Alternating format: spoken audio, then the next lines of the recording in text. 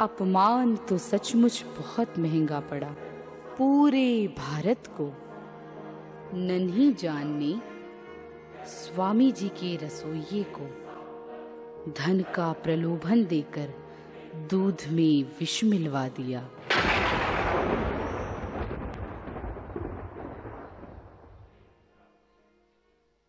कहो जगन्नाथ। स्वामी जी दूध दूध लाया हूँ। अच्छा अच्छा। लाओ पी लीजिए ना महाराज। हाँ हाँ पीता पीता।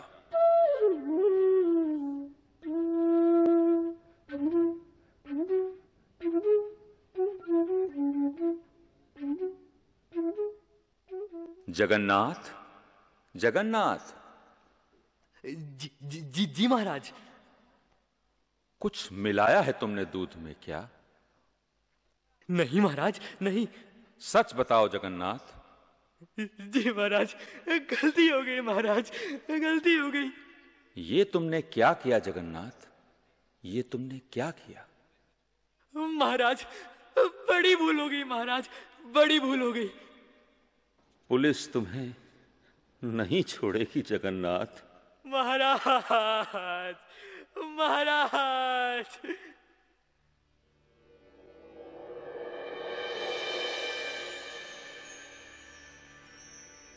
स्वामी जी के रुग्ण होने का समाचार सुन आर्य जगत स्तब्ध रह गया। लोग दूर दूर से स्वामी जी के दर्शनार्थ आने लगे।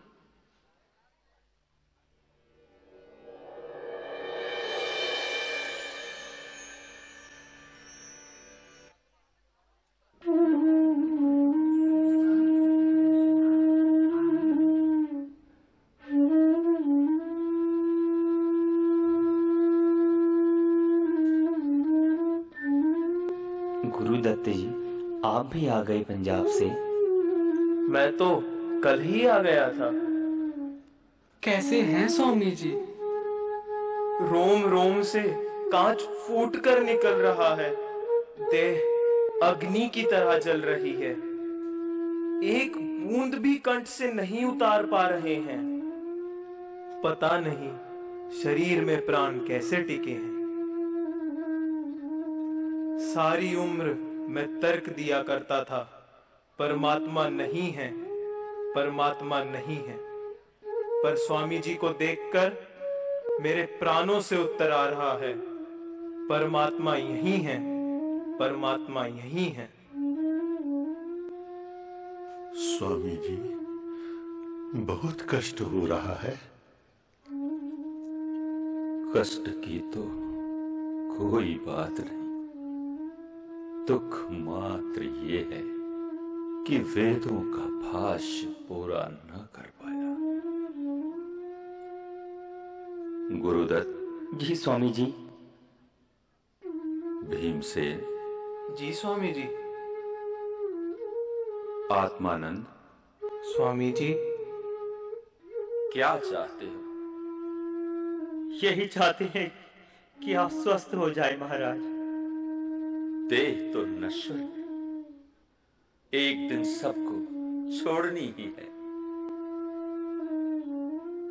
तुम आनंद से रहना आनंद से। स्वामी जी अभी हमें आपका मार्गदर्शन चाहिए स्वामी जी। जी स्वामी जी। जी स्वामी जी। क्या अतिथि है? वार क्या है? कृष्ण पक्ष का अंत। शुक्ल पक्ष की आदि अमावस्या है स्वामी जी मंगलवार है। हाँ। कृष्ण पक्ष का अंत। शुक्ल पक्ष का आदि। अच्छी लीला रची प्रभु। तैने अच्छी लीला रची। प्रभु तेरी यही इच्छा है। तेरी यही इच्छा है। हे ईश्वर, तेरी इच्छा पूर्ण हो। तेरी इच्छा पूर्ण हो।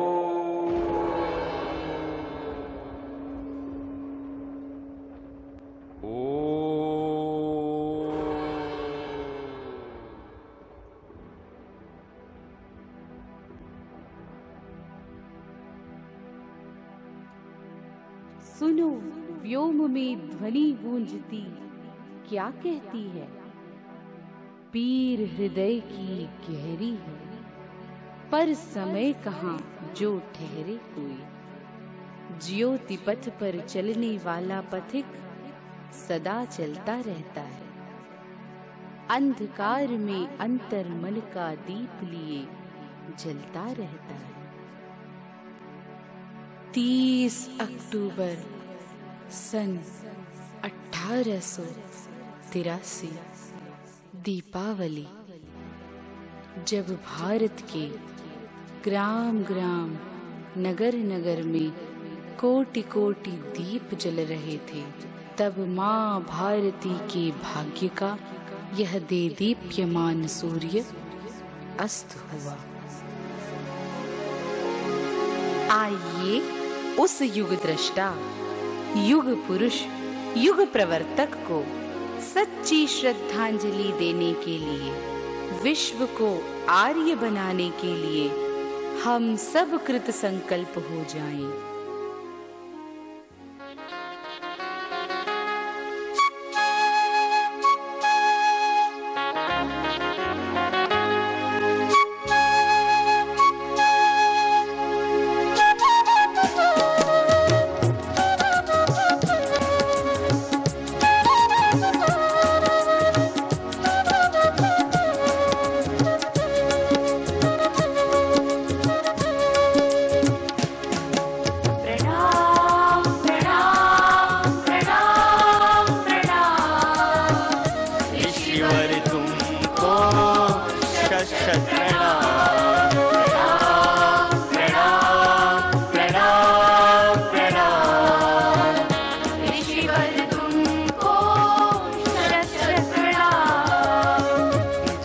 तक नभ में सूर्य रहेगा। जग में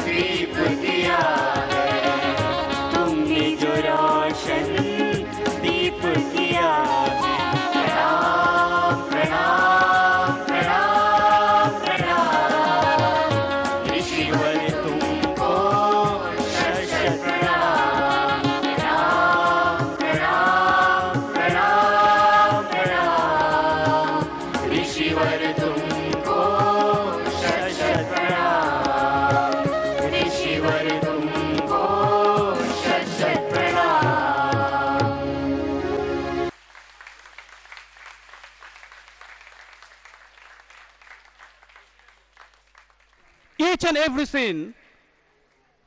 has been intertwined to give an overview of the contribution of this great social reformer, Swami Dayanand Saraswati. Really, it was an amazing performance on the stage.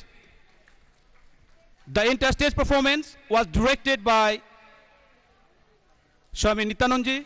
We are really grateful for his gift of time in preparing the children and give his best on the stage. Please give a big round of applause for Swami Nityananji who has prepared the entire drama, who has written the skit and prepared the children.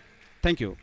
Now, I would request Acharya Shri to please come onto the stage and bless us.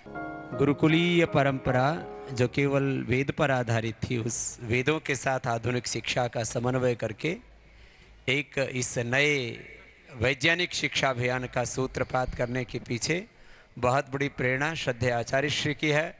और गुरुकुलम के पीछे एक tag लग गया था कि ये केवल वेद पढ़ाते हैं।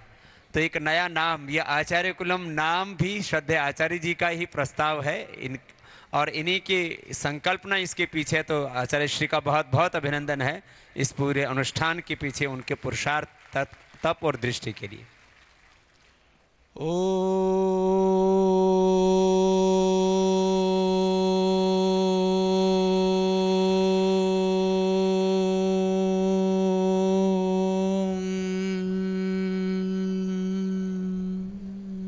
आज के इस वार्षिकी उत्सव के, आचार्य कुलम के कार्यक्रम में हम सब के मध्य में आज के मुख्य अतिथि के रूप में पधारे हुए मेरे बड़े भाई माननीय श्री प्रकाश जावड़ेकर जी,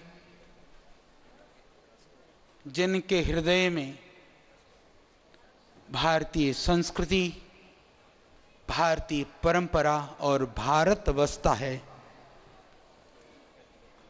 मानव विकास संसाधन मंत्रालय को आप अभी नेतृत्व प्रदान कर रहे हैं, ऐसे माननीय मंत्री जी का मैं हार्दिक अभिनंदन और वंदन करता हूँ। हम सब के लिए हमारे सारे कार्यक्रम, सारी गतिविधियों में श्रद्धे स्वामी जी की पावन उपस्थिति रहती ही है, परंतु जब स्थूल रूप से श्रद्धेय स्वामी जी सामने होते हैं तो उसकी दिव्यता और भव्यता अतुलनीय और अवर्णीय अवर्णनीय हो जाती है। तो श्रद्धे स्वामी जी को भी मेरा नमन। बच्चों ने हमारी बहुत ही प्रिय छात्रों ने, छात्राओं ने, नन्हे मुन्नों ने इतनी सुंदर प्रस्तुति दी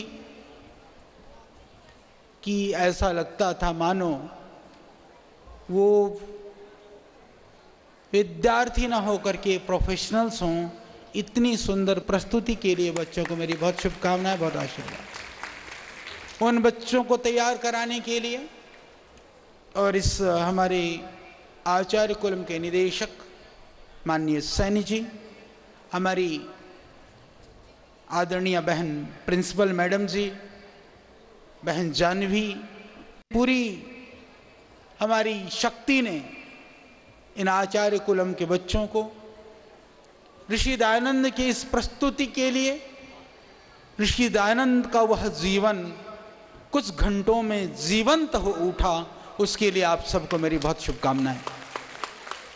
आज इस कार्यक्रम में यहाँ पर उपस्थित सभी हमारे संस्थानों के वरिष्ठ, कनिष्ठ सभी प्रबुद्धजन और बच्चों के सभी अभिभावक गण महाविद्यालय और विश्वविद्यालय के छात्र छात्राएँ और हमारे वैदिकी परंपरा के सभी सन्यासी, साध्वियाँ और सभी ब्रह्मचारी भाई बहनों को सबको मेरी बहुत शुभकामनाएँ।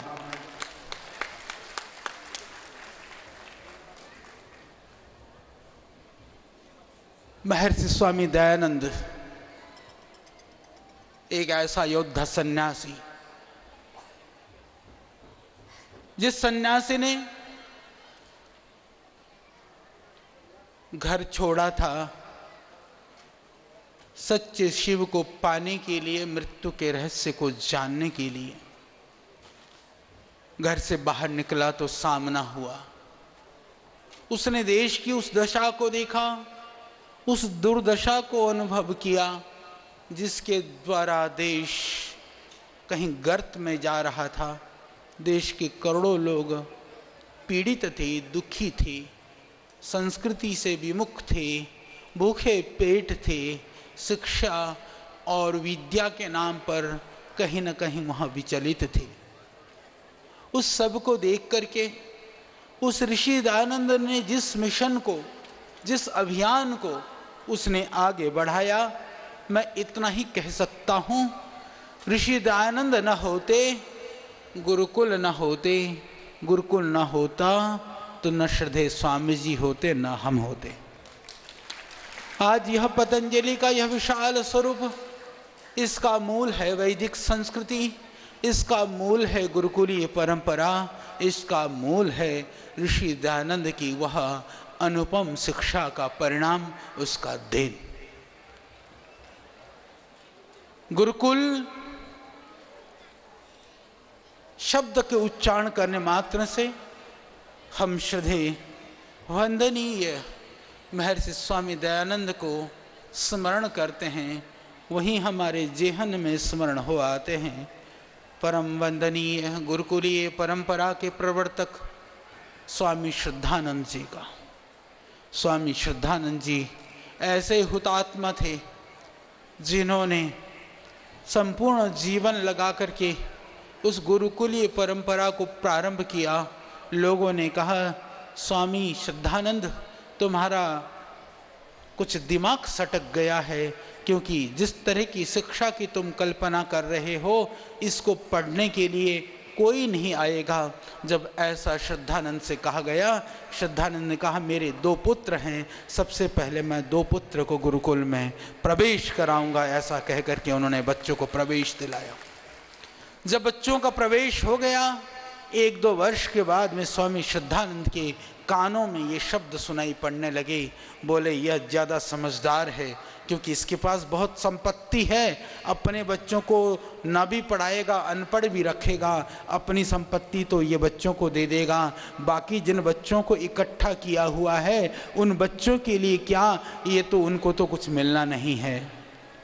तभी उसी दिन स्वामी श्रद्धानंद संकल्प लेते हैं कि मैं अपनी संपूर्ण संपत्ति को, गुरुकुल को दान करता हूँ। मेरी संपत्ति में से मेरे बच्चों को कभी कुछ प्राप्त नहीं होगा। ऐसे श्रद्धानंद के तप और बल से यह गुरुकुलीय परंपरा जीवित और जागृत हुई। हम सबको गर्व है, गौरव है।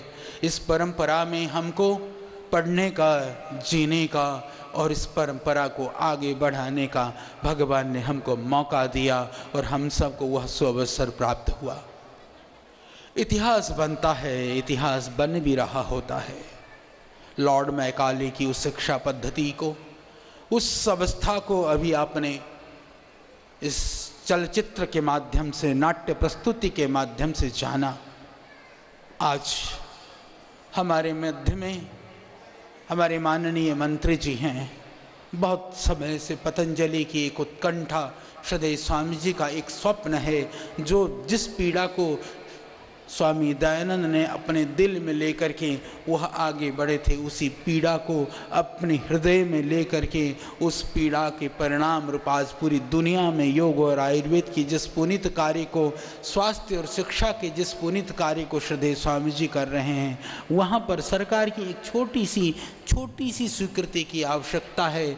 वह है वैदिक शिक्षा बोर्ड। और आज माननीय मंत्री जी, हम एक निवेदन करना चाहता हूँ। माननीय मंत्री जी कुछ भी करना पड़े, ज़िंदगी में आपने काम कर दिया तो काल के भाल पर जो आप नाम लिख जाएँगे, वो अमिट होगा। जैसे आज हम गाली देने के लिए लॉर्ड मैकाले को याद करते हैं, उसी तरह से आज स्तुति के लिए यदि भारतीय किसी शूरवीर को पूरी देश और दुनिया याद करे तो वो आप बन सकते हैं, क्योंकि समय सबको नहीं मिलता है, अवसर सबको नहीं मिलता है, जो आपके हाथ में है, इससे बड़ा अवसर भी जीवन में कुछ नहीं हो सकता है।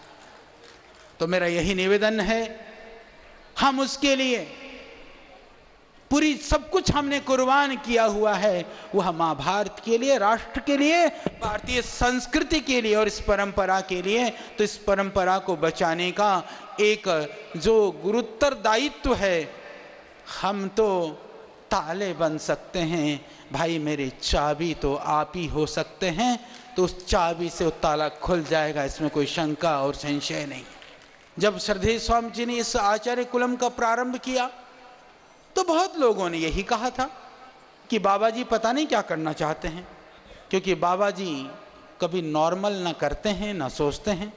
अब उस अब नॉर्मलिटी में जिसको जितना झिल जाए और जिसको जितना समझ में आ जाए तो लोगों को नहीं समझ में आया। जिनको समझ में आया, उन्होंने अपने बच्चे भेज दिए। तो जब अभी टेंथ के एग्ज़ाम आए सीबीएसई के, जब रिजल्ट्स आए एग्ज़ाम के बाद में तो दुनिया ने देखा कि बाबा जी तो कुछ विशेष ही करना चाहते हैं और हमें प्रसन्नता है कि यदि हम भारतीय शिक्षा बोर्ड की बात कर रहे हैं तो हम थ्योरी की बात नहीं कर रहे हैं। प्रैक्टिकल सारी दुनिया आकर के आचार्य कुलम को देख सकता है। ये हमारा एक एग्ज़ाम्पल और उदाहरण है। ये हमारा आदर्श आचार्य कुलम वैदिक की शिक्षा का भारतीय शिक्षा का एक उदाहरण है। हमें भाषा से विरोध नहीं है। हमें किसी ज्ञान विज्ञान से विरोध नहीं है। हम एक ही बात कहना चाहते हैं कि पहले अपनी माँ को स्वीकार करो, फिर आंटी को सम्मान दो। पहले हमारी संस्कृत और संस्कृति, पहले हमारी हिंदी, उसके बाद में अंग्रेज़ी, जर्मन, फ्रेंच, जो भी चाहिए वो सब भी हमको पाना है। इसी भावना से हम इसको आगे बढ़ा रहे हैं। आज वह एक व्यापक स्वरूप लेता हुआ जा रहा है। तो इसी निवेदन के साथ में आज आपके पधारने पर, आपके यहाँ पर आगमन पर पुनः पतंजलि परिवार आपके प्रति कृतज्ञता के साथ नमन करता है, वंदन करता है। तो मेरी भी बहुत शुभकामनाएँ और आप सबको प्रणाम। ओम।